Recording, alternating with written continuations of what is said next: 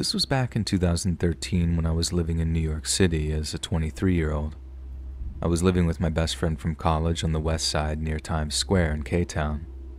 I was going through some tough times back then, as I was unemployed at the time. I had a lot of time, so I would go on walks by myself to clear my head from time to time. And one night, I was feeling especially depressed, so I decided to walk to K Town to grab a drink for myself. I'm Korean, by the way. I walked into a Korean bar and I got some weird looks from the waiter as I asked for a table by myself. After ordering a couple of soju bottles, I was feeling pretty drunk, so I decided to walk back home. However, as I was exiting out of the bar, this Korean guy followed me. He looked pretty normal, just like a typical nice Korean guy that might uh, frequent that area. He told me that he saw me drinking at the bar by myself and that he would love to walk me home to make sure I get home safe. I politely declined. After all, my apartment was pretty close. But he insisted, and he looked so harmless that I decided to take him up on his offer. We walked like 10 minutes, I think, and it was quite pleasant. We were both a little drunk, but I remember talking about all sorts of things, nothing really personal. When we finally arrived at my apartment, I thanked him and wished him farewell. No, my apartment was a five story walk up, and there was a main door where we needed a key to open it to get into the building, as there was no doorman. I didn't think much of it and inserted the key to open the door and went in. The door takes a while to close shut, and it was my mistake for not checking before I went up the stairs. While I was approaching the second floor, I heard someone grab the door from closing, and I heard footsteps coming up the stairs. I literally got goosebumps all over my body, and I immediately felt like I was in danger. As I started to pick up the pace, I heard the footsteps going faster up the stairs. I lived on the fifth floor and I started to run up, clutching my keys in my hand. The guy started to run up the stairs as well, and I can literally hear him getting closer and closer to me. This all happened in a couple of seconds, but it felt incredibly long. I finally get to the floor, and as I tried to open the door, I looked back and literally saw the guy's head on the staircase. I rushed to open the door and I managed to close the door right on his face. My heart was beating so fast, and I didn't know what to do at that point. It was already 3 a.m., and my roommate was asleep. Luckily, he didn't knock or anything, so I decided to just go to my room and hope that he was gone. Around 7 a.m., my roommate woke me up. She said that there was a man standing in front of our apartment door. My heart instantly sank, and I explained the whole situation to her. She and I went to the door and screamed that we were going to call the police if he doesn't go home. I looked through the peephole and he told me that he'll only go home if I gave him my number. We then called the police and saw him being escorted out. My roommate had to go to work, so she left the apartment and called me a few minutes later. She told me that she saw the guy speaking to the police downstairs, and apparently, he tried to lie to the officers that I was his girlfriend and that we got into a fight. My roommate went up to them and explained to the officers that I do not have a boyfriend and that she doesn't know him at all. The police let him off with a warning. About two hours later, I heard a buzz from the main door downstairs. Maybe it's the police, I thought. Surely it can't be him again. I answered the intercom and I was shook. It was him again. Just give me your number and I'll go away, he said. I warned him that I'm going to call the police again if he didn't leave. A couple of minutes later, I heard ferocious knocks on my door. He must have gotten in when someone was entering the building, and I was terrified at that point, so I immediately called the police. Unfortunately, the guy ran away before they got there. And the worst part about this experience was that my roommate and I were so scared to leave and come back to our apartment I would have anxiety every time I come home, worried that I might see him in front of our apartment door.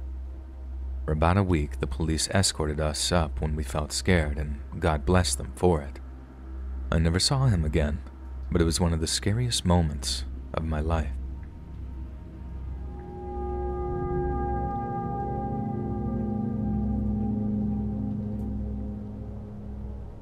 I'm going to start the story off by saying that at the time this happened, I was a 19 year old sophomore in college.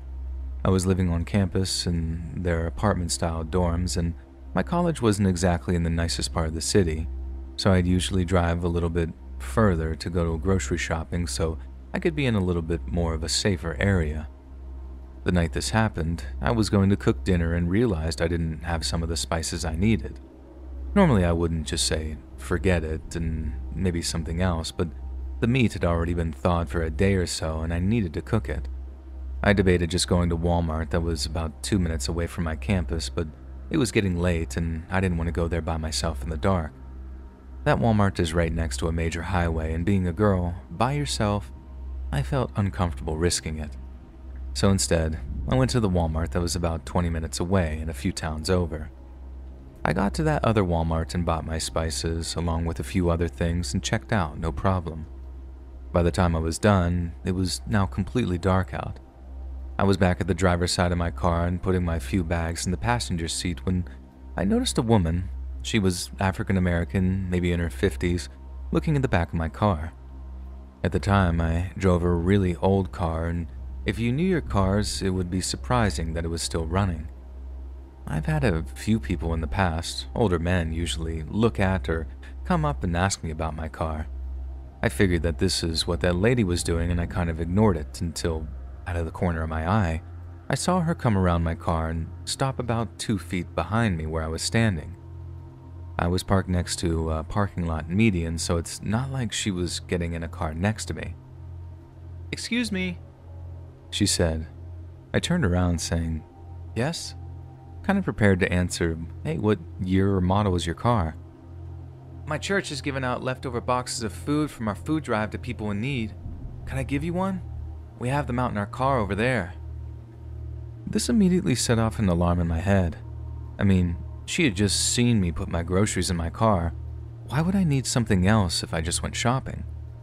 Also, the churches and food pantries around my college were usually cleaned out after they had their shopping days for the people who really relied on things like food drives.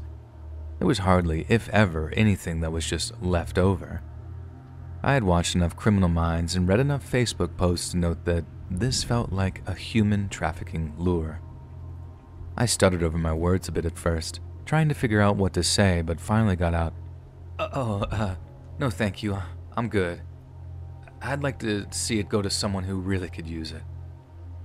I felt like that was an okay response if she really was handing out boxes. Are you sure? They're just right over here in my car, she said, taking a step and making the gap between us a little smaller. I was panicking. As she stepped closer, I tried to nonchalantly put my hand in my bag and look for the small pocket knife my dad had given me.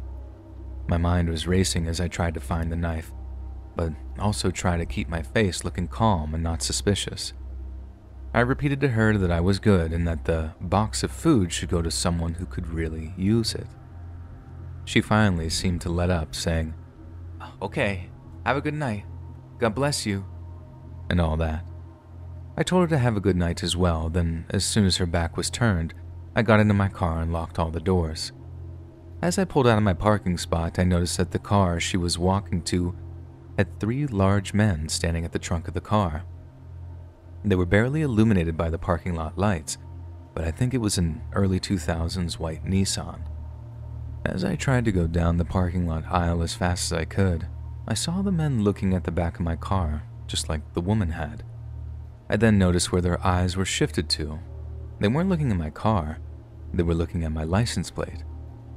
Just as I got to the end of the aisle, waiting to turn, I saw two of the men get in the front seats and the other man and the woman get in the back seat. The car started and they started to pull out too. I was having a full blown panic attack now. Just a week before, my friend had posted something on Facebook about how two men followed her and her mom through a Walmart. Again, I had watched enough crime shows to know that this wasn't painting a pretty picture. I finally got my opportunity to turn, but that car was coming up behind me. I made the quick decision to take a really odd way back to campus.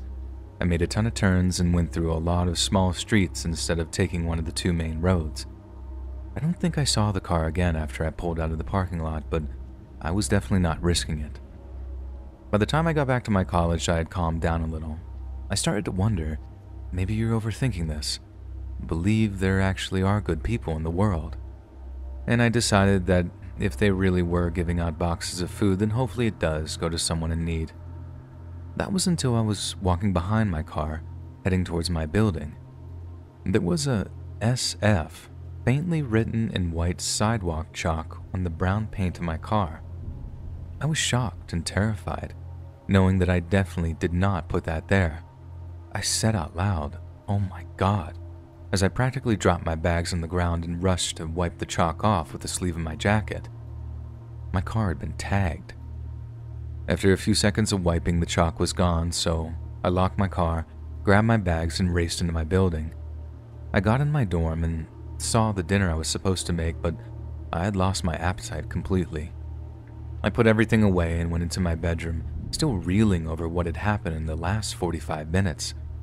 I sent the whole story as a Snapchat video to some of my friends who were all just as shocked as I was. My one friend, Sarah, said that she thinks SF stood for single female. It made sense, which made the whole experience that much scarier. I called my mom afterward and told her everything that happened. By the end of the call, she was sending me an Amazon package with pepper spray in it. I didn't go out after dark or by myself for about two weeks after that happened. I'd have a friend from campus or work go with me, or I just wouldn't go at all. The whole situation was terrifying, but I think the strangest part about all of it was that I was supposed to have been in the safer area. I drove all the way to that Walmart because I had a bad feeling about the one that was closest to me. I started going to the Walmart that was closer to me after that, and I never had a negative experience at the closer one since I started going. It's hard to believe that all that stuff I've seen on TV and the internet could have almost happened to me.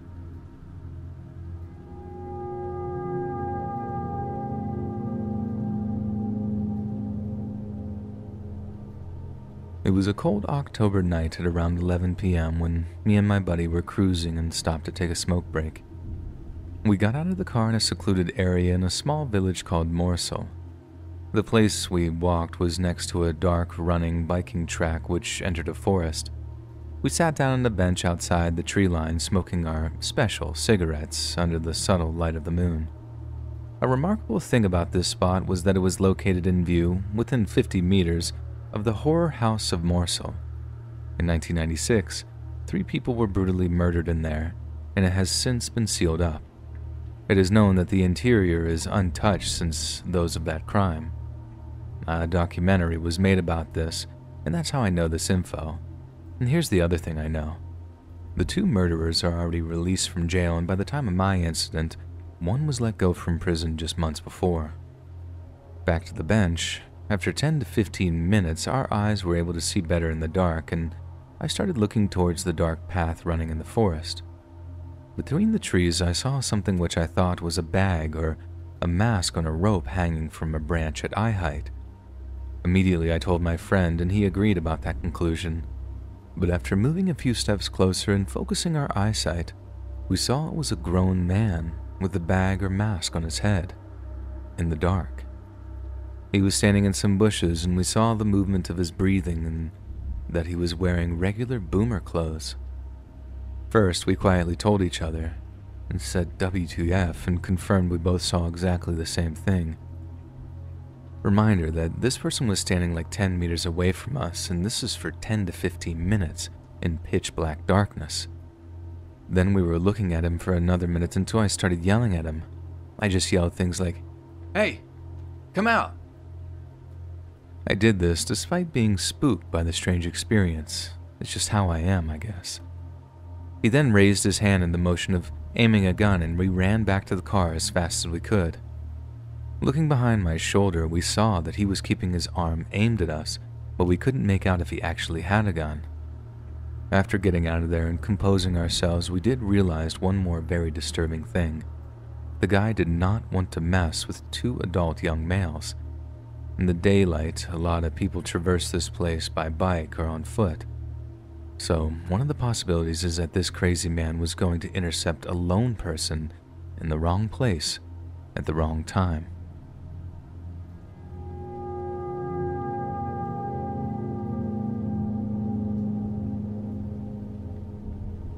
This is the first time posting here, and this event happened in 2018. I work at a SeaTac airport, which I still think is probably the smallest international airport I have ever seen. The airport was so small that your workstation almost forces you to work alongside with other jobs. In this case, I work in sales, and we were stationed next to the wheelchair lane, which usually had one wheelchair pusher in the lane. Now, keep in mind, I was only 19 when this incident happened. I would say I'm a sweet person who goes out of my way to start conversations with people that looked bored since I worked night shifts at the airport.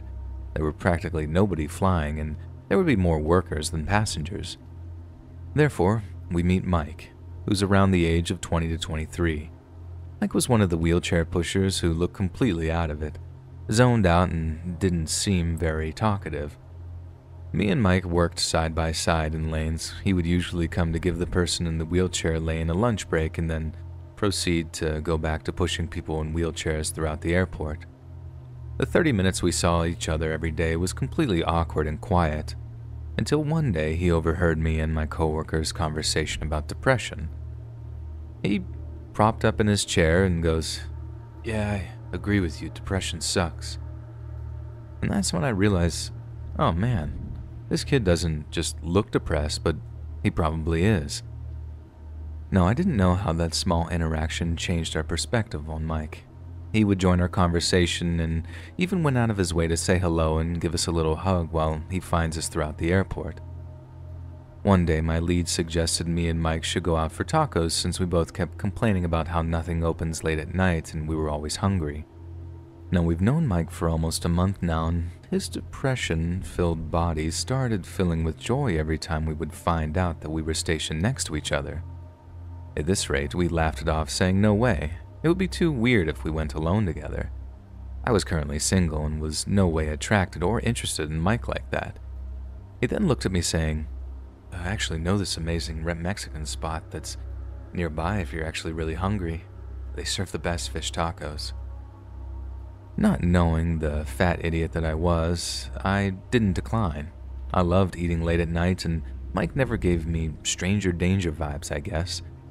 I agree because I don't see the harm going out to get tacos before I sleep. We exchanged our numbers and I headed home before him since I clocked out about an hour before he does. Now, when I arrived home, I was getting dressed to go out to eat, and the plan was to just meet up at the spot since the Mexican spot ended up being only about five minutes away from my house. I get a text from Mike saying he wants to pick me up. I kept refusing because I just finally got my driver's license and the place was only five minutes away from my home. After almost 40 minutes of us insisting how we were going to get there, I finally gave in to have him pick me up, which I would later regret. Now, I was a big girl, like we're in the 200 zone compared to Mike, who was very thin and short, so I wasn't worried if he attempted anything with me. I told him to pick me up along a street down the road because I didn't really want him to know where I exactly lived just yet. And his beat up trash Toyota pulls up and we head to the Mexican spot. We got our food and it was amazing that we went for seconds and we had a good talk watching the soap opera that was on television. After we were done, we get back into his car where he was supposed to drop me back at home, but he stops. He looks at me and says, can we talk in private? I know a spot. I kindly refused and told him it's already 2 a.m. and we should probably get back home, and he says, ah, I know it's late, but I just have a lot going on in my life, and you're the only person that's really hung out with me like this. And the kind of idiot that I am, I said, sure. Already seeing him driving down the road, I noticed so many red flags as the streetlights start disappearing the more his mood and tone starts to change. A complete change in atmosphere starts to emerge around Mike. He starts telling me, I sure do hate the society about women nowadays. They all have this stupid standard. I hate them. I hate them. And I'm like, did I just find a woman hater? Mike never rubbed me off as being that way, He's just starting to seem every time he attempts to talk to a woman, they blatantly reject him, and me, being a woman, is now this dummy that he's projecting all his female hate talk towards. I was actually too stunned to speak because he became a whole different person during the drive. We arrive at an abandoned skate park in the middle of God knows where, and he tells me to get out. I listened, and here we are at 2 a.m., sitting on a cold concrete floor in freezing temperatures. He goes on and tells me how he hates women, and how he would lie to his passengers he takes in his wheelchairs and tell them that he's from the UK and speaks in a British accent. And I was just so overwhelmed. Like, what in God's name is happening right now? He then talks to me in a British accent from there on how he would give his life up for God and God was the only one keeping him chained down. He looks me dead in the eyes and says, God would want me to castrate myself since he doesn't want me touching or being near a female creature for my own safety. I was completely quiet the whole time, confused, questioning myself how much of a fool I was to even think that I thought this guy liked me, and I was completely wrong. After 30 minutes, I was getting cold since this female creature that I was was anemic. I told him I would like to go home now, and he says, no, and proceeds to talk in this British accent about how God is coming to rescue him. I felt like I was in a movie because I can't believe what was even happening. After he noticed I started shaking my leg, he then says, I guess we can proceed back to the car. We go back to his car, and a miracle happens. My mother calls me. I was expecting her to scream at me, asking me where I was and to come home like she normally does, but this time she says in a calm voice, Where are you? Now, she's Vietnamese, and in Vietnamese, I tell her that I'm out getting food with a coworker, and she says, Okay, have fun, and hangs up. And again, in disbelief that she didn't care where I was at almost 3 a.m. for the first time, I lie and say, What? Oh, you want me to come home? Ah, okay, I'll, I'll start heading home soon. And pretend to hang up the phone. I look at Mike and say, Sorry, my mom wants me to go home now. He punches his wheel and sighs annoyingly loud, which gave me a jump scare for a moment, and he starts his car and just sits there in silence, annoyed, and kind of grinning the whole time. He eventually starts driving, pulls out his phone, and literally throws it at me. Open it, he says. Already exhausted and still not believing everything that was happening, my eyes grew fixated at over the hundred notes on his phone. What is this? I asked. He says it's songs and poems he's wrote. He looks at me and says, Go ahead, pick one. I don't quite remember what the note said. The only keywords I saw were betrayal and woman, and they stood out to me. And he says, Ah, that one. Would you like for me to sing it to you? I straight up said no, and he continues to sing it for me, and the worst part, he sings in this British accent. The whole drive was him singing in a British accent how God's plan is to stray him from the human race so he can overcome himself. I was zoned out the whole car trip. It all didn't feel real. My sense of danger gets lower due to how exhausted I was and how I was listening how this man wanted to eradicate the female species off the face of the earth, quote unquote, and how our quote, judgment day was coming. He drops me off on my street and even had the audacity to say, I had such a lovely time with you, darling. I slam his door shut and run down my street before he had a chance to start up his car. And after that incident, I ignored all of his messages, which he texts me two page long things of how he's sorry and how he believes God was here to put us together, and how my Asianness was the only thing holding him back from committing to real love with me. I stood in the back of my station to avoid talking to him. He would follow me back to my break room, and thankfully, my manager was there and yelled at him to buzz off before he called security. He later got the hint that I was not interested, but continued to stare me down every second he had in the same station with me. Thankfully, during that time, I found a second job and my whole schedule was changed, and I never had to see him at work again. I saw him at Target once, but quickly ran back to my car before he had the chance to walk up to me. And I later found out that Mike was actually living with one of my lesbian coworkers, staying on his couch. I told her everything he said and did, and she was completely shocked, and she'd never saw Mike like that. He was just very quiet and would crack a joke here and there. I advised her that she should keep a close eye on him, and she thanked me for relaying all that information, and eventually he was forced to move out later due to whatever actions he did in those ensuing months.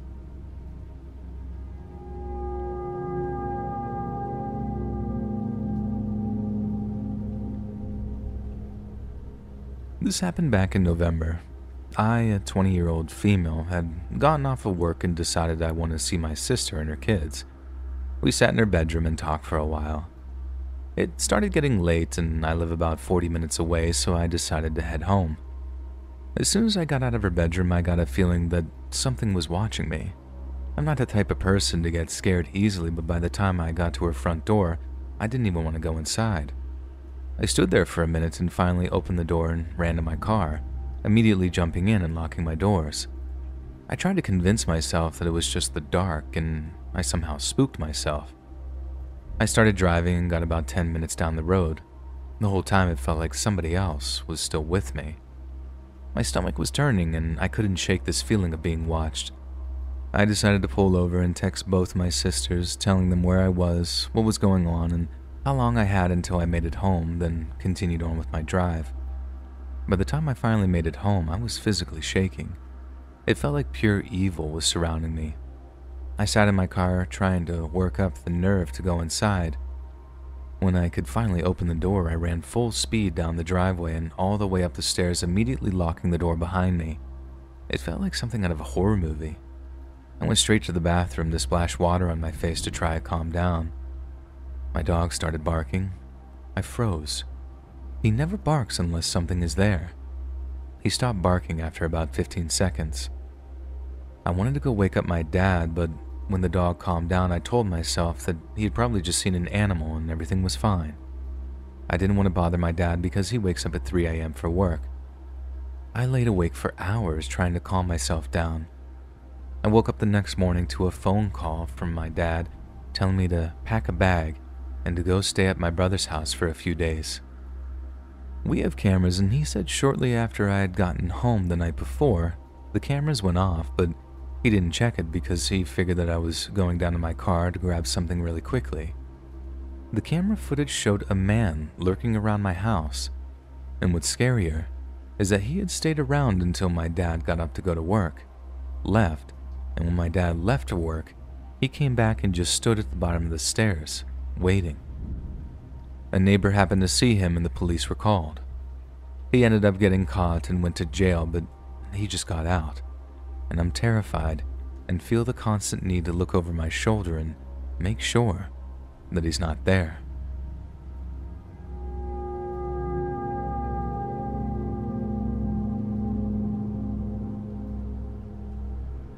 This took place in Maine, state in northeastern United States, at around 2007 or 2008. I was in third or fourth grade and just for fun joined the local community service soccer teams with my friends from school. Usually, one of the parents of the team would be the coach, and another parent would act as assistant coach. But on this day, the assistant coach was sick, so the community service center sent this other middle aged to uh, older woman to sub as our assistant coach. Well, this day happened to also be one of our teammates, I'll call her Mel's, birthday, and she was having a big sleepover party where the whole team was invited. It was all we were talking about during the game, and Mel was a really close friend of mine, and this would be the first time sleeping at her house, so I was really excited. We all were. During the game, as I was talking to Mel about the sleepover party later, that assistant coach woman I'd never met before called my name out and waved me over to her. I've always prided myself on having good intuition, and this was one of those moments. For some reason, I just got a real bad feeling in my stomach, but I listened and went over to her. But as I stood about a foot away from her, she wiggled her finger in a motion to get me to come closer. And that's when my alarm bell started going off in my head more, so I leaned in just ever so slightly closer because I was too uncomfortable to step forward. Once I leaned in a little bit, I think she noticed I didn't want to step closer, so she leaned in too and whispered to me, So, I'm Mel's mom. I'm gonna be taking you to the sleepover party after the game, so come right with me to my car as soon as the game's over, okay? And I don't know why, but it just felt really off. I hadn't met Mel's mom before, And she was indeed supposed to be picking both me and Mel up to bring us back to the party after the game, but it just felt wrong. So I stuck to Mel's side like Velcro the rest of the game, and as soon as it was over, I told Mel that we should run to her mom's car and I'd explain. So we take off in a sprint, and Mel leads me to her mom's car, and we both hop in. But as her mom turns around, my eyes widen. I say, Wait, are you Mel's mom? And she looked confused and said something along the lines of, Yes, of course, why? And that's when my heart sunk. Mel's mom was not the assistant coach stand in lady. And I told Mel's real mom what happened, and she was pretty concerned but never did anything about it that I know of. And I told my family the next day, but only my grandmother believed me. So nothing ever got done to find this lady or figure out why the heck she was trying to impersonate my friend's mom to lure me to her vehicle. And I just thought I'd share because this situation really stuck with me and I've always worried that maybe she'd tried again and succeeded with another child. I've since searched the internet for cases of children, particularly young girls around 3rd or 4th grade, gone missing from school or community service events, and haven't found any that resonate with what happened to me. But that doesn't mean they're not out there.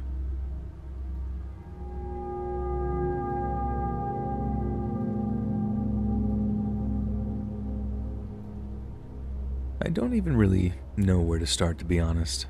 Me, a 28 year old female, and my brother, a 25 year old male, have always been very close considering we're only three years apart in age and started hanging around with the same friend circle in our mid teens.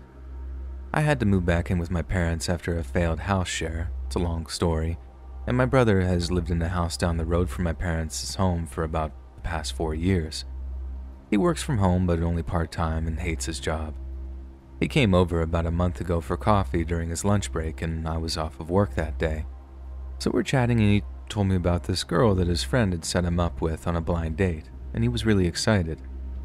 He went on the date about a fortnight ago, and I heard all about it the next day. I'm going to call her Sarah. So he told me Sarah was gorgeous, a year older than him, tall and slim, long blonde hair and green eyes. He said she's probably one of the most beautiful women he's ever met. I was so happy for him because I don't think he's had a girlfriend since he was 18, and the way he was talking about this girl made her sound like they got on like a house on fire. He brought up that at the end of the date, she did ask him if he'd like to meet her aunt and sisters because he'd mentioned he's unhappy with his work life, and she said that her family owns a business and he could come round for a meeting the next evening. I thought that was kind of weird, but he sounded really excited about it. I did make my feelings known, telling him that it sounded like a multi level marketing scheme and that they were going to try to recruit him. He just laughed it off and said that he'd be going around to their house to discuss it, and if it was a triangle scheme, he'd just nope right out of there. I said, okay, be safe, have fun, call me if you need help or for me to pick you up, etc. But a few days pass, and I sent him a text asking him how it went. He replied saying it definitely wasn't an MLM, and there were more people there than just her sisters and aunt. He said that there were around 11 women there, and that he was the only male. He got there, and they made him tea, and all the women were just chit chatting until the aunt, a woman in her late 40s, comes out and shushes them all. They all take their seats, including my brother, who sits down next to Sarah, and the aunt begins to speak. He says he wasn't really 100% sure on what she was talking about, but it sounds like she was reading gospel passages or something, bits of English and bits of another language unidentifiable by my brother. The aunt asked my brother to stand up beside her at the front of the living room, and all the women started passing around a basket and filling it with cash. Apparently, soon after this collection was finished, the women started singing in this other language and then dispersed around the house. He said from that moment onwards, it was just like a regular party and get together.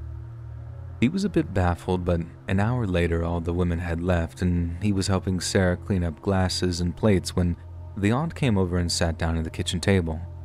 She handed my brother the basket of money, which he didn't take, so I don't know how much these women had given, and said to him that if he comes back every week for the meetings, he'll receive the same, if not more, payment for his presence.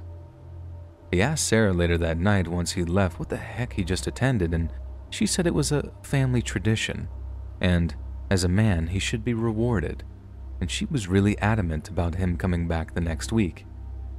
He didn't go back and blocked her on everything. But what in God's name did my brother attend? Why were they just giving him money for just existing?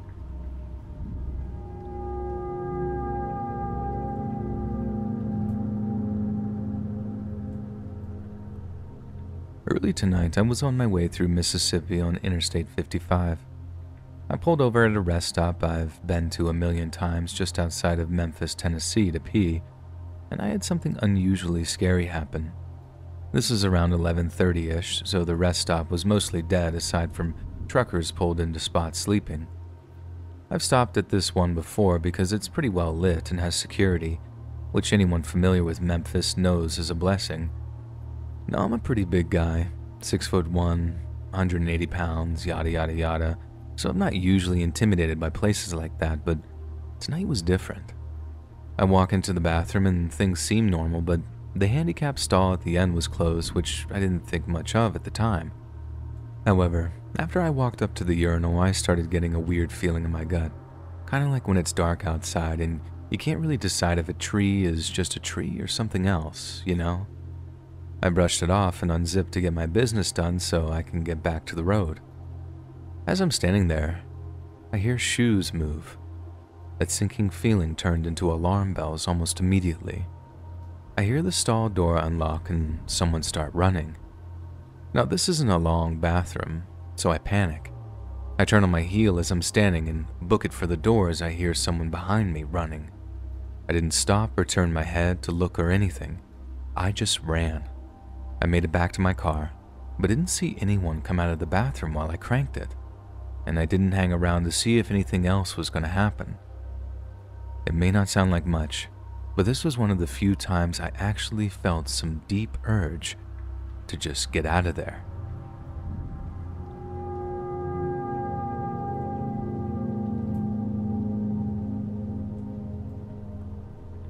I need to explain two things before I tell this story. First, I have a sleep disorder and I've had it my whole life. I sleepwalk, nothing too dramatic, mostly just do everyday things while sleeping. Open the fridge, put clothes in the washer without starting it, take the vacuum out of the closet and set it in the middle of the room and leave, that sort of thing. When I was younger, this was an every night occurrence, but now in my late 30s, this is a once or twice a year thing. Second, I am native, I have a healthy respect for the stories of spirits my ancestors told. Many hunting trips, I would sit around the fire with my dad listening to him tell stories of the tricks Wendigos play to try to lure you to them. And while I'm unsure if I believe the stories of skinwalkers and Wendigo, I don't tend to mess around, just in case. Shoot to roughly three weeks ago, my husband and I both work construction. We have hard, long, and rewarding days. Once dinner is over and planning for the next day is complete, the dogs have been taken out for the last time, our heads hit the pillows, and it's lights out until the alarm sounds, and we sleep like the dead. I'm pretty sure a war could break out in our bedroom, thundering tanks and all, and we would sleep right through it, wondering in the morning where all the holes in the walls came from. Our bedroom is fairly good size and has a small bay window in the corner. My husband likes to sleep with fresh air, so he takes the window side of the bed. This particular night, though, something woke me up, and I never wake up. The dogs were quiet, typical northwest weather, rain quietly tapping away, no thunder, no heavy winds. I looked the dark and quiet room over, and nothing was out of place. The only noise besides the rain was my husband's box fan gently humming away. I was confused but decided to just adjust my blankets, flip my pillow, and go back to sleep. As I closed my eyes and took a deep breath to relax, I heard my husband, Babe, babe, come out here and give me a hand with the boys. Confused and still foggy from being woken up from a deep sleep a few seconds earlier, I opened my eyes to the pitch black of the room again. Rarely one of our three dogs will need to go out at night, and if one goes, they all will go. We live in an incredibly rural area and it's easy for them to get lost in the dark woods. Not a good thing when you have bears, coyotes, cougars, and whatever else on our property. Babe! Babe, can you come out here and help me with the boys? He called again, voice right against the half open window, not concerned, just demanding. Annoyed and groggy, I leaned up, propping myself up on a stiff pile of blankets to look at the window. It was too dark to see him. The floodlight is on the other side of the house. Babe, come outside, my husband demanded. It was the third beckon that bothered me. He was never that pushy. If something was wrong, one of the dogs wandered off, and he would say that. It's happened before where he would say something like, Come watch these two real quick, I can't find Murph. Or something like that. Something just wasn't right. I was finally regaining my focus and shaking off the sleepies, quite awake at this point, and I knew it was him. My husband had a very distinct voice. He's a Sicilian from Queens and has a very deep, unintentionally loud voice. It was at that moment, staring out the black window, I realized I wasn't leaning on a pile of blankets. The pile of blankets was breathing. I was leaning on my sleeping husband, listening to him call me from outside the window. Babe, come outside. The voice came again from the window. I put my hand down on my husband's face. He was there, asleep next to me, but his voice, or what I thought was him, was at the window. I lay down next to him, very, very close to him, and closed my eyes very tight. In moments like these, I'm the type to just try and pretend it's not happening. I didn't hear it again and spent the next half of the night trying to fight off the spookies and had at some point finally fallen back asleep. I told my husband about it the next morning after his, oh my god, you look like death comment. I hadn't slept well. He laughed it off as I had probably had a creepy sleepwalking thing. The thing is, when I have a sleepwalking event, I remember nothing. I don't recall dreaming, walking, or anything from those nights no matter how hard I try. It's like a blackout. I am sure I was awake for this. Every time I think of it these past few weeks, I remember those hunting trips, poking coals around in the fire with a stick while my dad tells his serious yet animated tales of Wendigo tricks to get you to come with them. As silly as it sounds, I think there might be one in my woods.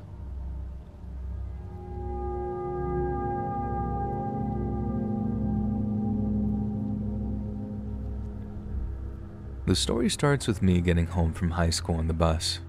I made it home and saw that my mom wasn't there, and since my dad was at work and my bro didn't get out of school until later, I was the only person there.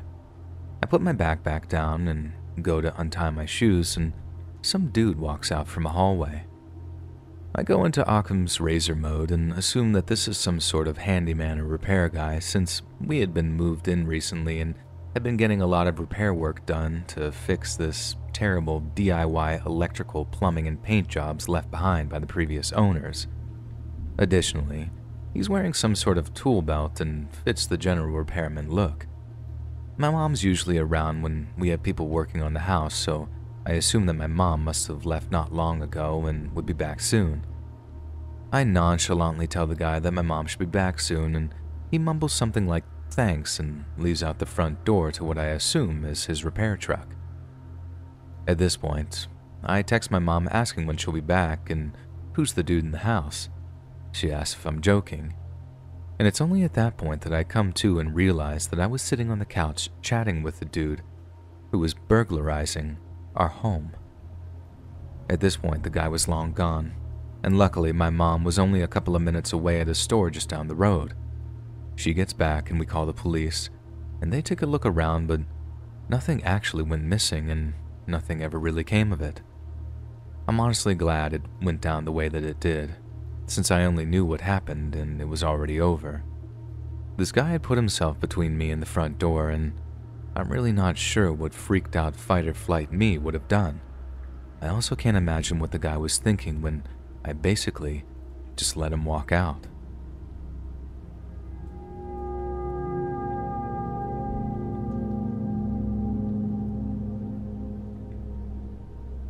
My fiance, a 27 year old male, and I, a 23 year old female, are soon to be married and are remodeling an old family home.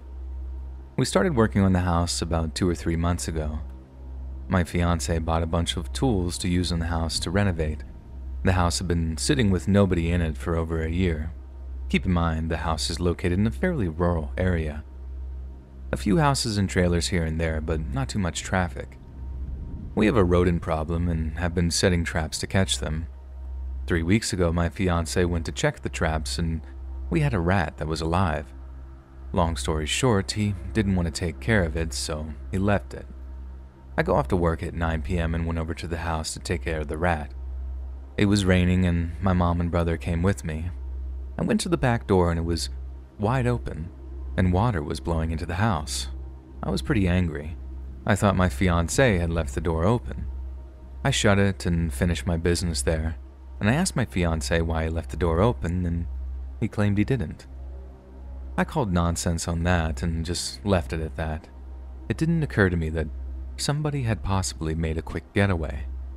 Fast forward to today, my fiance and I went to our house to throw a whole bunch of trash and stuff into the dumpster we rented. When we went inside, we immediately noticed that some things were missing drills, sanders, etc. We realized that they had been stolen. We call my mother in law and tell her about it. She says make a police report. What scares me so much about this is that everything began to click with that rat trap incident. Somebody had been scoping us out. I would go to our house by myself on many occasions and always had the creeps and like I was feeling watched. My little brother even remarked that he felt watched there as well and asked if we were sure nobody was in there while we were gone. I noticed today when I was there alone that my dog was acting very nervous and suspicious. She wasn't running and playing games like she usually does and didn't want me to go to the backyard or the wooded area. I'm glad I trusted her and my gut feeling. I don't know if the thieves were there, but I'm glad I didn't find out. We're currently in the process of installing cameras this had to have been somebody that lives near us and can monitor how often we are there. So to the person or people that broke into my unfinished home, let's never meet again. Update. So we did catch a car pulling in like it was scoping the place out. The people inside never got out, but they left. We asked a few of my fiance's family members about it, and that was to our detriment. One of them went and spread the word that we have cameras, and somebody in the neighborhood who owned the vehicle that we caught on camera slipped up and said that they already knew things had been stolen, which to me is basically a confession because we hadn't told anybody about the robbery until the incident with the car was caught on camera. So now more people than necessary know, and we probably won't catch the person who does it. We still turn the footage into the police, and maybe they can dig up some information.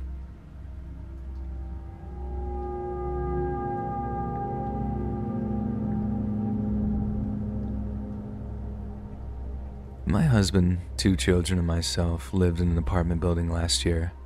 It wasn't an area of the city with a lot of drug users, but we weren't bothered by them. They knew my husband owned a crossbow after an altercation with a druggie almost went south. A couple of them lived in my building, but again, they didn't bother with us.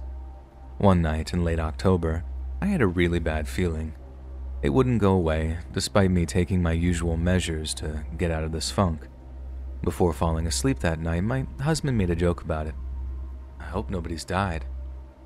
We laugh about it, but almost 98% of the time, my bad feelings are usually an indicator that someone either close in proximity or relationship has died. I felt it when my grandfather died, when my best friend died, and when my brother in law died. The feelings persist for a long time, and I was beginning to wonder if I was just yet another victim of seasonal affective disorder. It's a hot June morning when we notice the smell. The building manager looked for dead animals in or around the building but can't find any, and the smell just gets worse over time. One morning in August, shortly before my daughter's sixth birthday, the smell is unbearable. I was thinking about calling the building manager again when his Jeep pulls into the parking lot, followed by a couple of police cars and an ambulance. My husband and I wait in the hallway, just watching as the building manager comes up to the second floor. He and the police officers open the door to the back hallway where there are two other apartments, and the smell gets to be gut wrenching. We go back inside and speculate about what's happened before I decide to go back out into the hallway. The cops are on their radios and heading down the stairs, and I wave over to the building manager. What's going on? Ah, uh, well, one of the tenants of the building is dead. It looks like he's been there a while. My husband is in the doorway now, and he and the building manager talk about how this particular man, a small Hispanic man named Elvis, had OD'd at some point. His sister finally decided to have a wellness check done on him since she hadn't heard from him in a while. And me being me, I asked, Was he decomposing? The building manager looked at me like he'd never properly seen me before.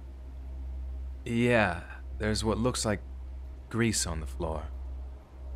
Oh, that's his adipose tissue. And that's gonna leave a stain on the floor. Yeah, we didn't interact with the building manager much after that, but my husband now takes my bad moods very seriously. And just thinking about that poor man, dead since October, lying in his apartment with no one around, it still haunts me. And that smell, I'll never forget what death smells like.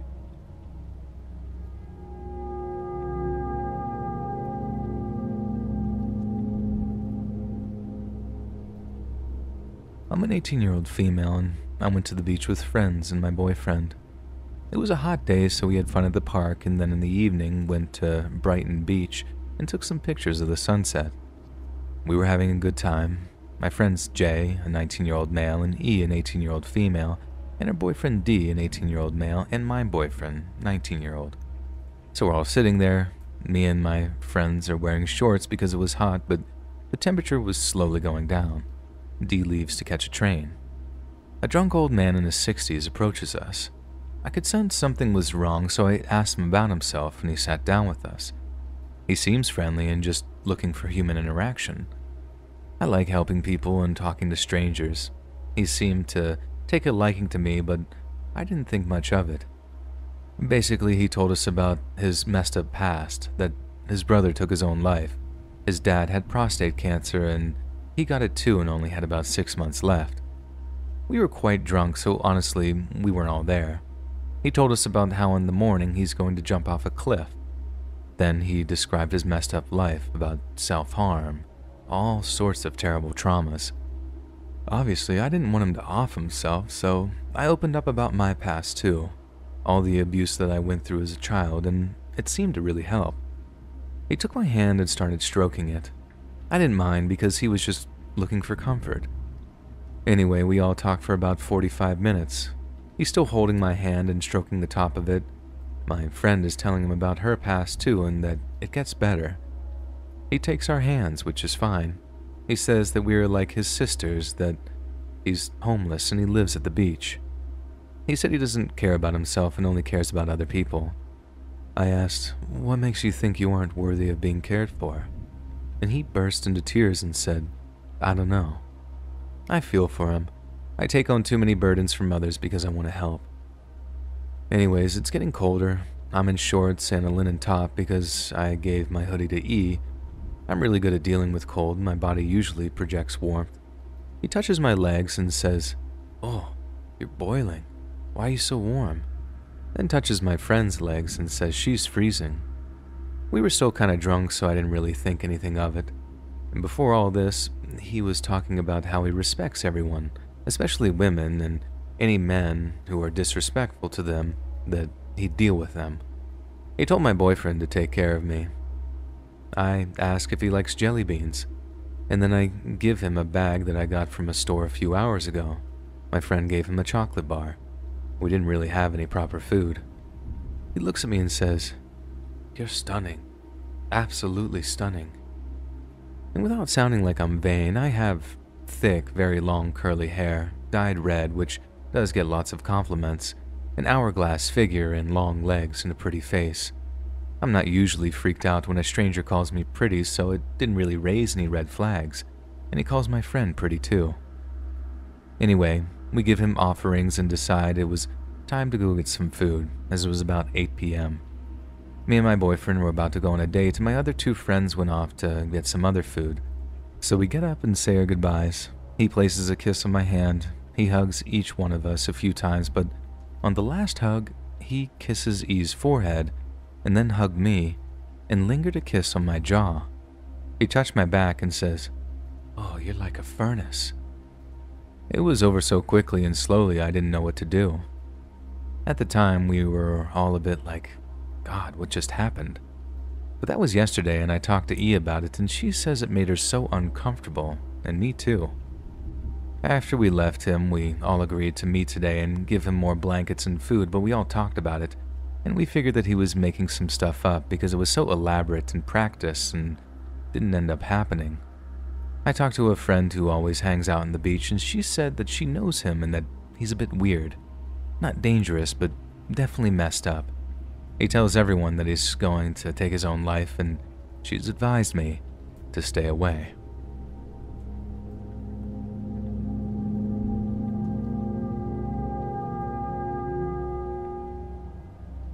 I went to the police station a few days ago to put down a complaint about some person who scammed me when I was trying to get a graphics card. A guy who seemed nice overheard the conversation and proposed to me to come over as he had spare electronic equipment that he didn't use anymore, saying that it could probably help someone else. He'd be glad to give it out.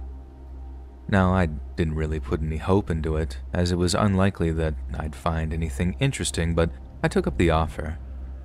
He didn't have that fishy person aura, so I accepted coming over in a few days. I wouldn't show up alone, though, just in case.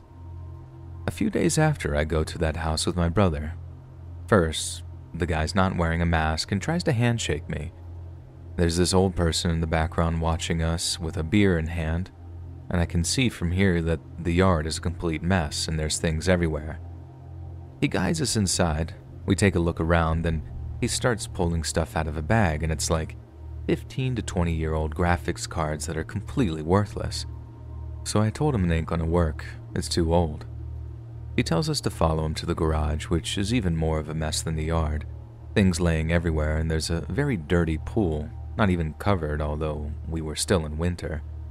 He shows us one of those first generation graphics cards, old and bulky. I tell him that it's not going to work either, and he tells us to head to the shed behind the house with even more things. It's a shady place in a weird alley, and I freaked out a little because the older person who hadn't said a single word was now just following us behind. He rumbles through his shed, telling me the card he intended to give me was somewhere, but he just doesn't seem to find it. Too bad. I prepared to just leave, but then he asked me if we could look at a PC that doesn't boot. I accept and go inside the room, which is apparently the kids' room and is as messy as every other room. I approach the computer and it's missing keys. It's kind of dirty everywhere. I sit down with my brother and we start fiddling with the computer. The grandpa appears out of nowhere and sits behind my brother, which kind of freaks me out by the way that he just kind of stares at us. I'm trying to fix the PC, and then this mother comes in and tells me she doesn't know much about computers and such, but that she goes on the dark web. She asks me if I can check every device in the house to make sure that they haven't been pirated and that she's being spied on. At that point, I just look at my brother, confused, and we kind of mentally communicate yeah, we need to start getting out of here. It's getting weird. I tell the guy that I can't fix it and that it's above what I know, and he seems to be okay with that. The old man lights up a cigarette in the room and we just leave. The guy keeps us and talks for like five minutes, and they seem like they wanted us to stay for dinner. We tell them we have a bus to catch and kind of walk quickly out of there. The mother stops us and asks if we're going to come back to inspect if their devices are pirated, and I just say that we'll contact them again. I panicked and blocked that number when we finally got out of there.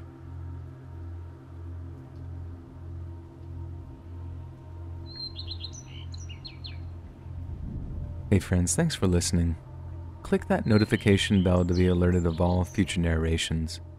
I release new videos every Monday, Wednesday, and Friday at 7 p.m. Eastern Standard Time. If you got a story, be sure to submit them to my subreddit, r slash let's read official, and maybe even hear your story featured on the next video. And if you want to support me even more, Grab early access to all future narrations and bonus content over on Patreon, or click that big join button to hear about the extra perks offered for the channel. And check out the Let's Read podcast, where you can hear all of these stories in big compilations and save huge on data, located anywhere you listen to podcasts. Links in the description below. Thanks so much, friends. And remember, don't forget to change your blinker fluid.